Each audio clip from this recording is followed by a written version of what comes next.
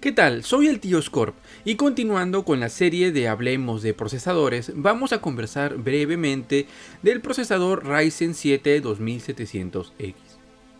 Este procesador trae una frecuencia base de 3.7 GHz, que era la frecuencia turbo en el Ryzen 7 1700, y puede llegar hasta un turbo de 4.3 GHz. Mantiene la misma cantidad de núcleos, pero mejora en gran cantidad su estabilidad con altas frecuencias de memoria RAM y también mejora su potencia ganando en puntaje a una Core i7 8700K, tanto en Cinebench como en CPU-Z, y llegando casi a emparejar a una 8700K en FPS de la mayoría de juegos. Obviamente el i7 sigue siendo superior en FPS, pero el Ryzen 7 2700X esconde otras ventajas muy importantes que probablemente ningún típico vendedor te vaya a decir. Vamos a explorar dichas razones. La primera es que tiene 8 núcleos versus los 6 del 8700K.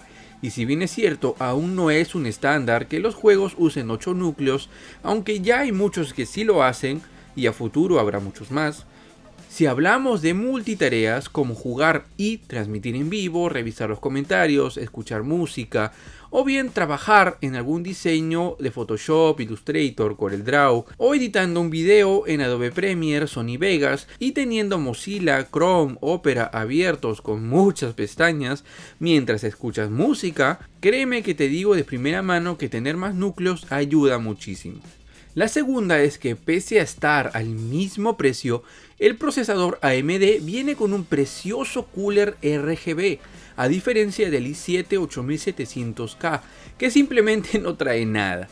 Y aunque si bien es cierto, para cualquiera de ambos es recomendable una mejor refrigeración para poder usar todo su potencial, si en caso te quedas corto de presupuesto, puedes prescindir de ello en AMD y usar su propio cooler de stock que no está nada mal y usarlo mientras tanto pues definitivamente cumple su trabajo. Obviamente necesitarás un cooler más potente para hacer overclock. Mientras no hagas OC, la velocidad de ambos oscilará entre un rango aproximado de 1.3 a 4.3 de acuerdo al uso. Tercero y la más importante es que las nuevas generaciones de AMD seguirán siendo compatibles con las motherboard actuales hasta 2020, mientras que las de novena generación no serán compatibles con las placas de octava. En otras palabras, si tú ahora mismo compras una PC con Intel de octava y luego desearas actualizar tu PC con los nuevos procesadores de novena generación, tendrías que cambiar también tu motherboard. Así que en conclusión, en mi opinión, si harás algo más que solo jugar como transmitir en vivo, quizá algo de diseño, arquitectura o renderizado, y no haces berrinche por unos cuantos FPS, cuando quizá aún ni siquiera cuentas con un monitor gaming para sentir esa mínima diferencia, y además deseas un equipo que se mantenga vigente tecnológicamente y te permita actualizar, probablemente tu mejor opción sea AMD.